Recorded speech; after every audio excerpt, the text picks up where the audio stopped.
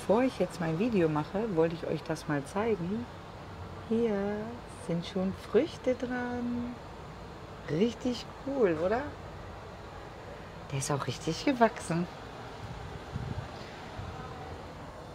Ey Leute, ich bin so stolz. Ich weiß immer, ich vergesse immer wieder, wie die Dinger heißen. Ich sage immer Mini-Mandarin. Hallo und herzlich willkommen auf meinem Kanal Katjas Welt. Es windet wenigstens ein wenig. Es ist wieder eine brühende Hitze draußen. Ja, ich wollte euch heute mal aufmerksam machen, weil das ist mir schon ein paar Mal jetzt aufgefallen. Äh, ich rede nur von mir. Ja, meine Meinung. Nur meine Meinung, sonst nichts. Meine Meinung ist, warum würde ich jetzt nicht von Projekten kaufen, also wo noch nicht fertig ist, wo noch in Rohbau ist? Ähm, man kann zwar Geld sparen, stimmt. Aber das kann auch ganz schön nach hinten losgehen. Was ist, wenn diese Firma, ich sage jetzt mal von Firmen, große Firmen, würde ich es auch machen, wo ich weiß, die können gar nicht pleite gehen. Ja? Aber es gibt so viele kleine Firmen, die dann ganz schnell pleite gehen. Hier schräg gegenüber das eine beige Haus, das ist zwar fertig gebaut, da ist aber eine Streitigkeit zwischen äh, Bauherr und dem, wo das Land gehört hat, das steht schon über fünf oder sieben Jahre leer. So, jetzt hat man da vielleicht investiert, hm, dumm gelaufen, sage ich nur. Ne? Das ist richtig blöd. Dann ist mir aufgefallen, viele, die kaufen, wenn es noch nicht ganz fertig ist. Dann wird ja versprochen, es wird ja gezeigt, boah, da kommt Hammam rein, da kommt Sauna rein, da kommt Innenpool rein, dies und das und jenes. Und nachher, wenn alles fertig ist, dann wird aber gespart. Bei vielen ist auf einmal kein Fitnessraum drin, weil das Geld gefehlt hat. Bei manchen ist kein Hammam drin. Ja, oder wir kennen Leute, äh, da ist jetzt zwar ein Hammam drin, aber die müssen dafür bezahlen. Hä?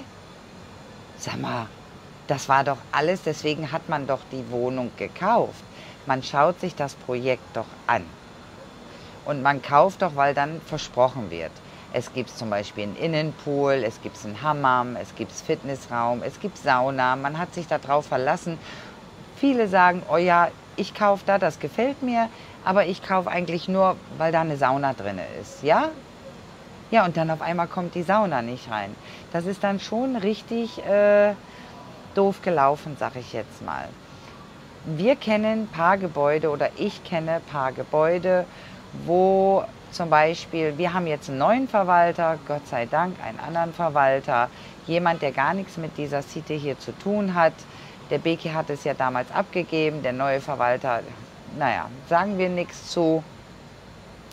Jetzt haben wir einen ganz neuen, äh, den wir alle gewählt haben, der von außerhalb kommt. Ich kenne aber wirklich CITES hier. Die haben keinen Verwalter, und die wissen auch gar nicht, wer der Hausmeister ist. Wer macht den Pool? Okay, da kommt irgendjemand abends und macht dann den Pool. Oder es wird nicht richtig gewischt. Ja, äh, da müsst ihr euch, sag ich mal, schlau machen, bevor ihr eine Wohnung kauft. Hat es ein Verwalter? Wie sind die Leute zufrieden mit dem Verwalter? Hat das Gebäude einen Hausmeister? Weil Hausmeister ist sehr wichtig. Denn ohne Verwalter und ohne Hausmeister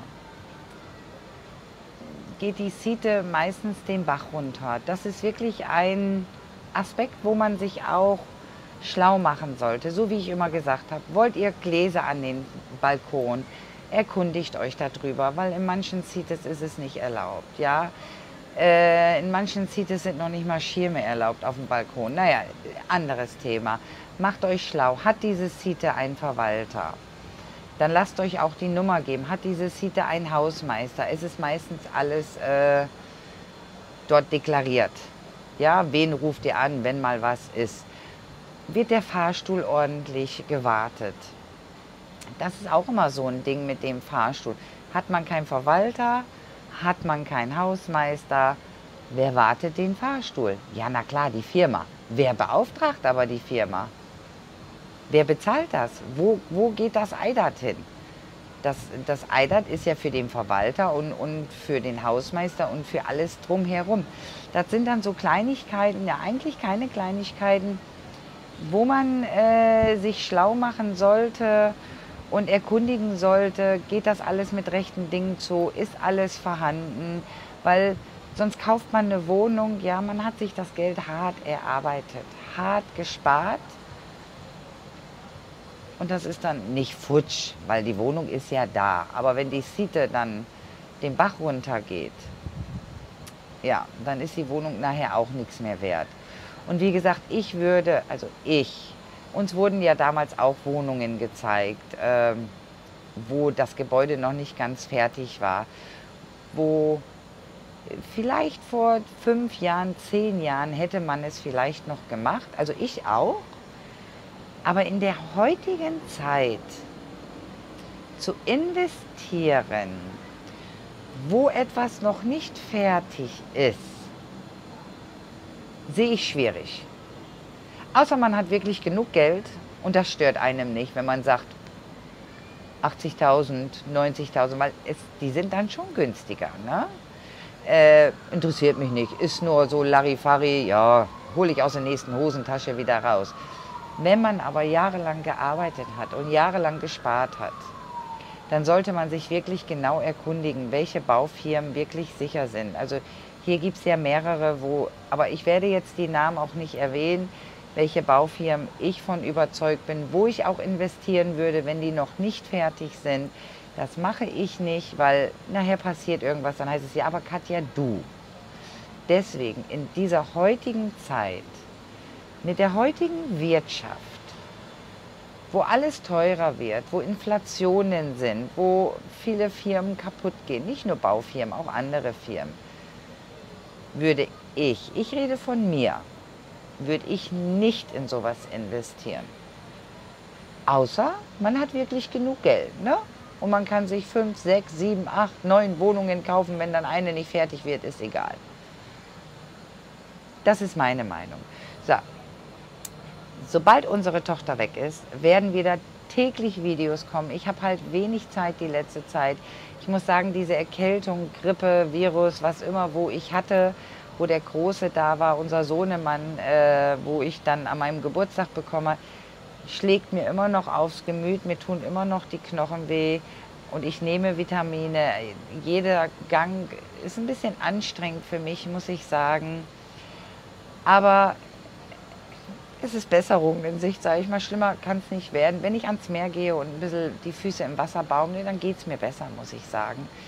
Und sobald alles wieder hier ruhiger geworden ist, denn wenn die Tochter weg ist, ist Bekirs Bruder da und da habe ich halt wenig Zeit, aber bald kommen wieder ganz tolle, interessante Videos. Aber das mit der Verwaltung und mit dem Hausmeister und mit diesem von Rohbau kaufen in der jetzigen Zeit, wollte ich euch unbedingt darüber informieren.